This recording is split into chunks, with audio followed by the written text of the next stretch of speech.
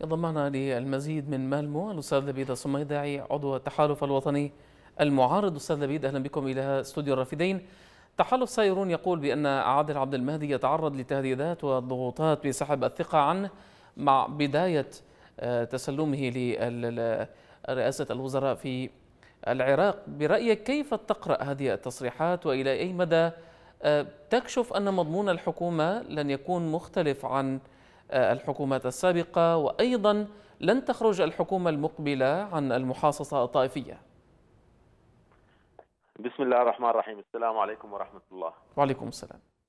في البداية يجب الإشارة إلى أن طريقة أو آلية البوابة الإلكترونية من أجل استقطاب أو جمع عدد كبير من التكنوقراط أو من الأكاديميين الذين تتوفر فيهم كفاءة جيدة من أجل إدارة الوزارات وإدارة البلد. هذه من حيث الجوهر هذه الطريقة بالحقيقة هي طريقة جيدة جدا. آه، ولكن تستوجب توفر شروط سياديه أو ظروف طبيعية في العراق. لكن العراق آه، لا لا يستوفي أي شرط من الشروط التي تجعل منه آه، تجعل ظروفه طبيعية، العراق الآن هو تحت الهيمنه هيمنة الأحزاب الطائفية على الصعيد الداخلي، فالأحزاب هناك عدة أحزاب طائفية تنتمي. هذا ينتمي للطائفه الشيعيه وهذا ينتمي للطائفه السنية وهذا ينتمي إلى الكرد والتركمان وهلم جره لذلك فالمحاصصة والتجاذب الطائفي هو الحالة السائدة في العراق ولذلك لا يمكن ان أن يسمحوا هذه الأحزاب المسلحة بالميليشيات والعصابات هذه لا يمكن أن تسمح بأن تنجح آلية التكنوق التي تقود إلى حكومة تكنوقراط يريدون أن يتقاسموا الوزارات حسب نصيب أو حسب عدد النقاط التي حصل عليها كل حزب من هذه الأحزاب، هذا نعم. كله على الصعيد الداخلي، على الصعيد الخارجي نعلم بأن إيران تهيمن على القرار السيادي العراقي ولا توجد أي سياده للعراق حاليا. آه، إيران تتعامل مع العراق كولاية من ولاياتها. لذلك فلا يمكن أن تسمح آه، إيران بأن آه، يقود الحكومة العراقية. هذا النوع من من الأكاديميين، إيران تريد أن تفرض إرادتها وخصوصا بالنسبة للوزارات السيادية وخصوصا وزارة الداخلية. فلا يمكن أن يسمح لهذه هذا الحل الذي يمر عبر البوابة الإلكترونية. نعم هناك دعوات يعني آه، صدرت الآن دعوات نيابية لمنع مزدوجيه الجنسية من تولي أي منصب وزاري آه، عدم تطبيق هذا المطلب إلى أي مدى من الممكن أن يكشف تواطؤ شركاء العملية السياسية بالإفلات من العقاب والهرب خارج البلاد أنا أعتقد أن مسألة الازدواج الجنسية إشكالية كبيرة لأن عادل عبد المهدي على أغلب الظن نفسه هو يحمل الجنسية الفرنسية أيضا بالإضافة للجنسية العراقية فهو مزدوج الجنسية وعليه فهو من باب أولى كان ينبغي أن يرفض القيام بتشكيل الوزارة لهذا الاعتبار.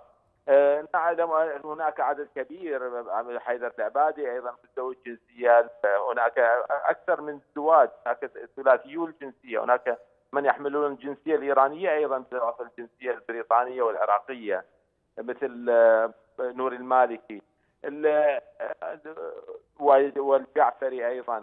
أعتقد أن هذه لا يمكن هذه الادعاءات أو هذه اللقاوي بخصوص اثاره مسألة الجنسية لا يمكن ان أن تمر، لا يمكن أن يقبلها يقبلها أحد لأنها آه، تقف بالضد من مصلحة معظم الناس أو معظم المسؤولين وكثير من النواب.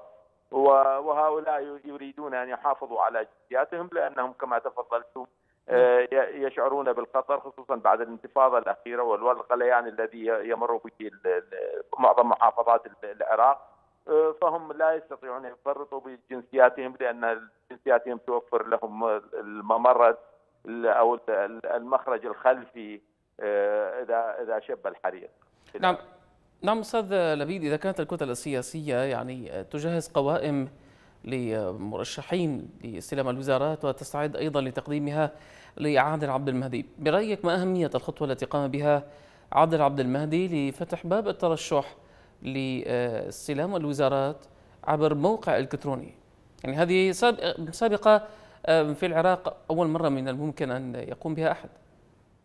أنا أعتقد أن عادل عبد المهدي حصل ربما على دعم من من قبل كتلتي الحكمة وكتله وكتلة سائرون وهو ربما يراهن في حال أنه في حال أن باقي الكتل اعترضت على هذه الآلية لتعيين الوزارات. أعتقد أنه راهن على على وقوف السائرون والحكمة معه. لكن في النهاية أنا أعتقد سيفشل. إذا أصر على آه، هذه الآلية آه، سيفشل للاسباب التي تقدم ذكرها لأن الكتل الأخرى مدعومة من قبل إيران سترفض ذلك. آه، علاوة على الكتل السنية أيضا الكتل السنية لا تريد أن تفرط بوزارة الدفاع وفضلا عن الكتل السنية أيضا هي خاضعة للإرادة الإيرانية. وكما نعلم بأن الكتل السنية من أول خطوة قامت بها هي تقديم فروض الطاعة لإيران فهي أصبحت أيضا تحت الهيمنة وتحت ومكتوبة القرار للسيد الإيراني لا تختلف بشيء عن إلا عن الكتل الشيعية. نعم. كيف يمكن لهذه التركيبة والمحاصصة على الحكومة؟ آه، القبول باستلام قادة ميليشيا الحشد لوزارة الداخلية. يعني هناك اتهامات للميليشيا بتأجيج العنف الطائفي والاغتيالات. والسرقات في البلاد. كيف من الممكن أن يقبل بتسلمها لوزارات أمنية في آه، الوزارة أو الحكومة المقبلة؟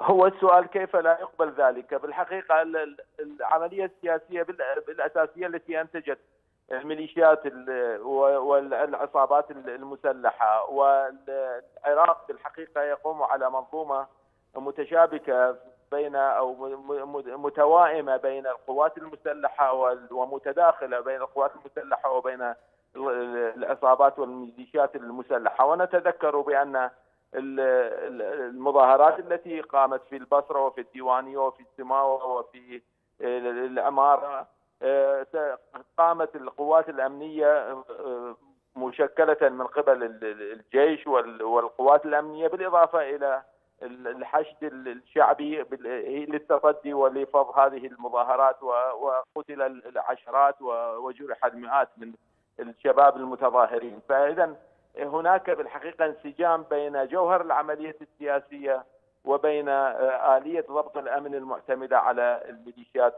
المسلحة. أستاذ لبيد آه، يعني بعد 15 عاما على تجربة الحكومات المتعاقبة آه، منذ احتلال العراق ما فرص الحكومة الجديدة؟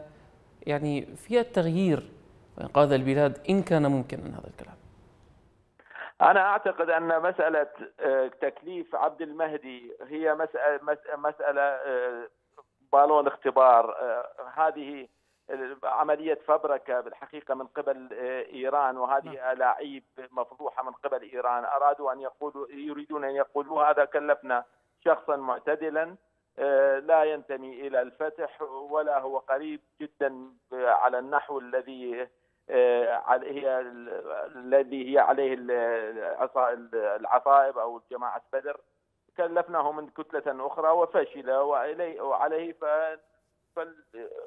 سيدفعون بالشخص الآخر الذي يعتبر هو. آه، أقرب الناس إلى إلى إيران ممثلا بالعامري.